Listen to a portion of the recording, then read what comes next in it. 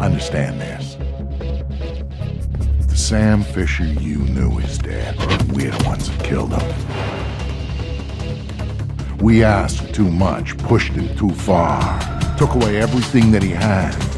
Can they tell you what? It's all part of the job. Back when I knew Sam in the Gulf, he was different.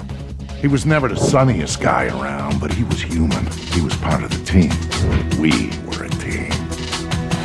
Sam trusts me, and I believe in his conviction. Anything he needs, I'll get it for him. They made him what he is. Fixer, uh, killer. The answer to all the questions you don't want to ask. But he's off the leash and going after answers. I know what he wants.